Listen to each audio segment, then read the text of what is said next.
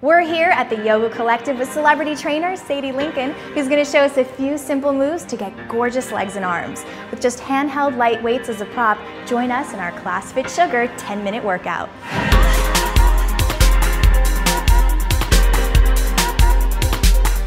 Okay, are you ready for your arm and lower body workout? Let's start with our feet hip distance apart. Lift up nice and tall. You'll want those light handheld weights in your hands. We're gonna start with a Pilates roll. So drop your chin, roll your shoulders, draw the waist in, bend the knees, and just draw down like a rag doll. Be heavy over your legs, push your feet, bend your knees, and roll right back up. Stacking that spine, training our body tall. Again, drop your chin, roll your shoulders, draw the waist in, round the back, bend the knees.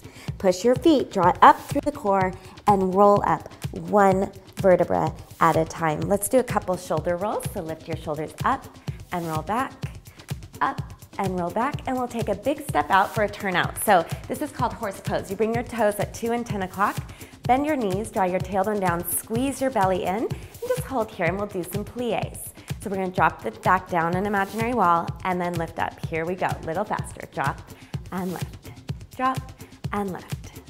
That's it. Now, Sadie, how far down do we have to go in these plies? That's such a good question, Z. So you can just go even an inch, it doesn't matter. It's never about how far or low you go. It's about doing it with an upright spine. So long spine first. That's it. Okay, are you ready for dancer's arms? Let's hold it down. Draw the waist in and reach the arms above your head with soft elbows. So think about that long dancer's neck and try to keep it there. Squeeze the belly in and we'll pull the elbows just halfway down and lift. Pull halfway down and lift. Now as we pull the elbows, we're gonna lift up and down. Lift up and down. Literally like you're pulling yourself up. See if you can squeeze your inner thighs, drop the tailbone down, and lift up through the crown of the head. Beautiful. Keep the knees tracking over those toes. Do we need weights for this, or is this a good workout on its own? You don't need weights. In fact, you can do this whole thing without weights and get amazing sculpted arms. If you feel out of control at all, please set the weights down. Many of my clients do, including me. All right, two more. Okay, let's hold it down. Hold here. Reset, push those feet, drop the tailbone, squeeze the belly, and bring those elbows halfway down and reach the arms straight. Okay, we're gonna work the chest. So squeeze the arms in and then open out faster. In and out, in and out. So really squeeze the chest. So you're working your pecs here. It's a nice way to strengthen the front line of the body. Gorgeous. Whew. I can really feel this in my entire arm too. Yeah, it, you can feel it in your entire arm, really your entire body. So we're big on multitasking. You're working all different muscles at once for great efficiency, okay? Are we ready to hold it out? Hold right here.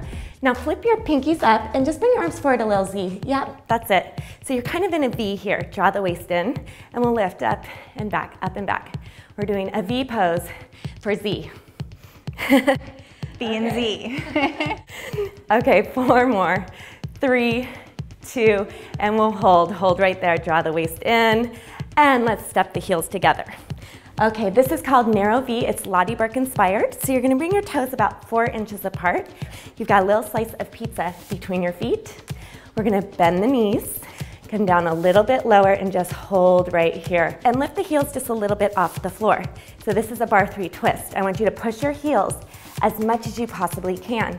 So we wanna go in the back line of the body more than the quads. Squeeze the belly in, tailbone down, and come down a little lower. Let's work the biceps. Are you guys ready? Okay, let's pull in and reach, in and reach. Keep your carriage nice and upright and the shoulders out of the ears, so drop your shoulders down.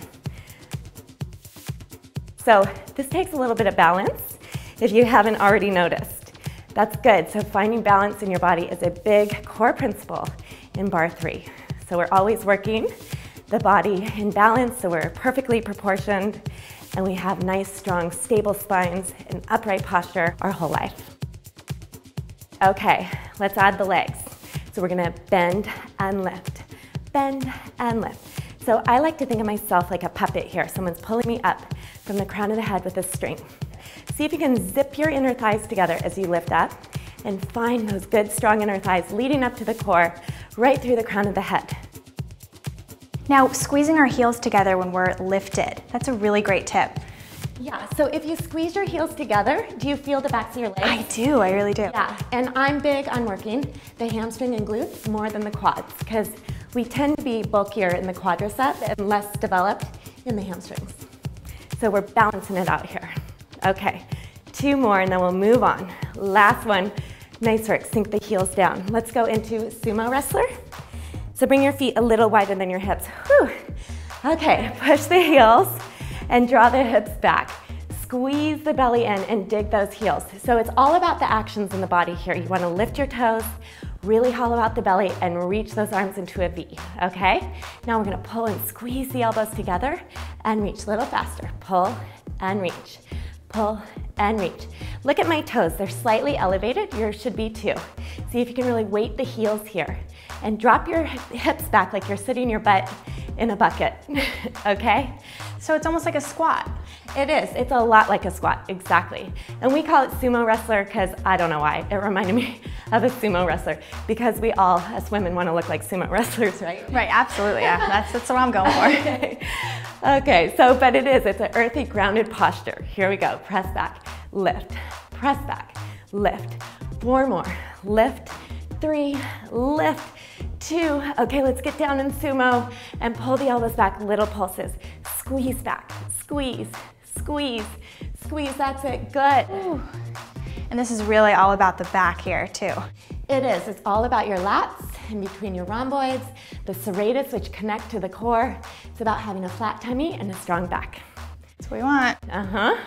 Okay, let's stand tall and we'll turn to the side for carousel horse. Let's start in primary posture. Our feet are under the hips, soften the knees. Your hips are level and square, and your shoulders stack over the hips. Go ahead and take your right leg back. Bend your knee right under your hip and hold. So you wanna make that knee kind of close to the hip, but if that aggravates your knee, just take a step back, okay? Squeeze your belly in, pull the elbows back behind you and hold. Now extend the arms straight and then bend halfway. Extend the arms straight and bend, and then we'll reach, bend down, and reach. Yeah, so we're just gonna add some movement here in our lower body. Now, Sadie, I've seen when people do this move, they think that they have to lean their body over their leg to really uh -huh. get into the tricep. We're very upright here, right? We are very upright, and I'm big on training the body tall. Training that body with a good, tall, upright posture. None of us want to shrink as we age. We all want to stand nice and tall. Let's just do four more and reach. Three, look beautiful, you guys. Two, and we'll hold it down, extend the arms straight, hug the muscles into the bone here and lift that front heel. See if you can hold here in releve. Big balance challenge, okay? Ooh. So see if you can hold it and then just lift the arms straight back, straight back. Oh my gosh. Here we go. Four more. And what is this shaking? Three. This shaking is your body fatiguing, yeah. and we call this barre3 earthquake. So let's sink nice. that heel down and lift up into our warrior three. And with this warrior three pose, you want your hips to be focused downward, right? That's right, right hip point down, squeeze the belly in, and we'll lift up tall and bring the feet together Ooh. for the other side, okay? So let's bring that left foot back, bend the right knee over the ankle, drop down, squeeze the belly in, and lift up tall. So you'll kind of wobble around, that's okay. You can always use a chair for balance or follow us and bring your elbows behind you and we'll do the same thing.